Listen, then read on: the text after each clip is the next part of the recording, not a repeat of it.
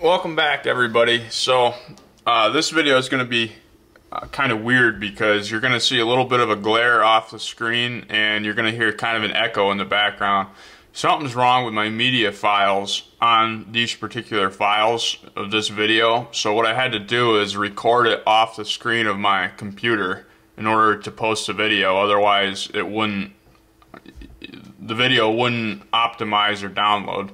So that's why it's going to be weird. Uh, I just wanted to let everybody know, you know, it's not going to be the 4K quality that you're used to, and you're going to, it's just going to be kind of odd. But anyways, you're still going to see a woodchuck die, and that's the important part. So I just wanted to inform all you guys, it's just this video. The files got messed up somehow. I'm still going to show it to you. Thanks for watching, everybody. Welcome back, everybody. So, just got back to the house with some lumber for a bridge I'm building down in Cherry Ridge, and uh, pulled in, and there's a woodchuck out here in the field, right here next to the barn. It's only going to be like a 140 yard shot, but I got the 300 Win Mag set up, and we're going to sit down here and send 168 grain Sierra match tip his way, see if we can't take him out. If I don't take him out, something's wrong.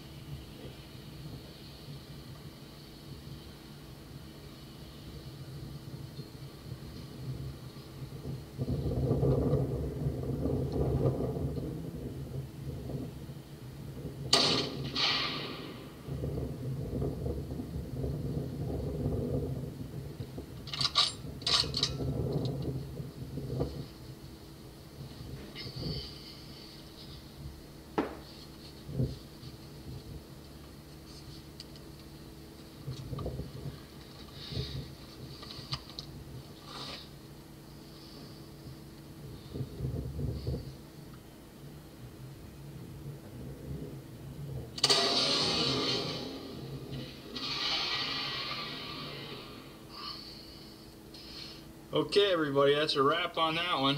Hopefully, he's just inside the wood line there, very dead. That little bugger, I was uh, just waiting for him. I wanted him to stand up, and I wanted to, I wanted a headshot on him. I wanted him to stand straight up, and I wanted to take the top of his head off. So I was waiting and waiting and waiting for him to stand back up and give me an opportunity standing. And the little bugger took off running. And then he stood inside the wood line, and I thought, well, I'm not gonna let the little shit get away.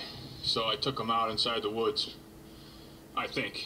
Let's go. Uh, let's go take a look. Obviously, uh, my gun zeroed at 100. That shot was only 160 or so, so I didn't. I didn't adjust at all. The only thing I adjusted was my yardage to 150 here. So let's go over there and check it out.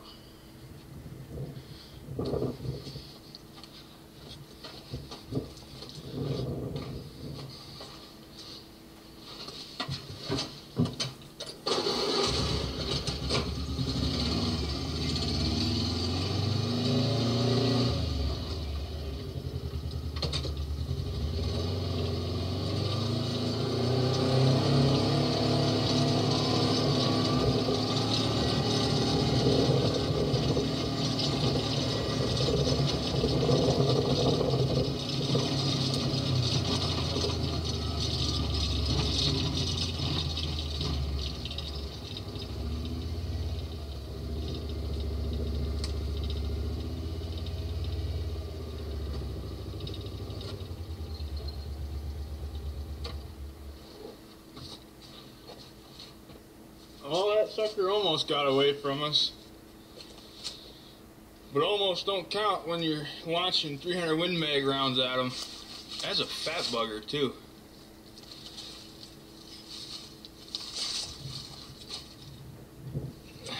Right here's the Audi right at the base of the neck. Boy, that's a big chuck for uh, first thing this spring. It's got good looking coat on it too for being in the springtime like this. There's a better shot of the Audi. It is a female. I'm gonna venture to say she's full of, full of little baby woodchucks. It's half the reason she's so big. Very dead one. You know, how dare a woodchuck think it's gonna live right behind my place like that and think it's gonna get away with it. That is number I don't even know what that is. I think that's number number eight or nine or ten. I don't know to be honest. What I do know is it's a very dead chuck, thanks to the 300 Win Mag.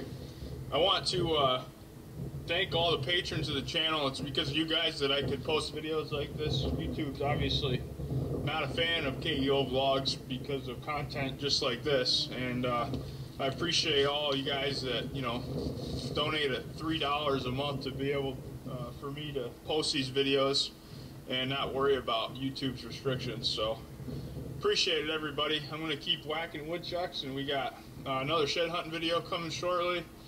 Turkey hunting coming soon. All kinds of good stuff happening as long as everybody's still going to be alive to watch it with this coronavirus stuff. Thanks, everybody. Hope uh, you and your family are staying safe out there. Uh, I'd recommend getting out and looking for sheds or going woodchuck hunting by yourself. Stay away from everybody.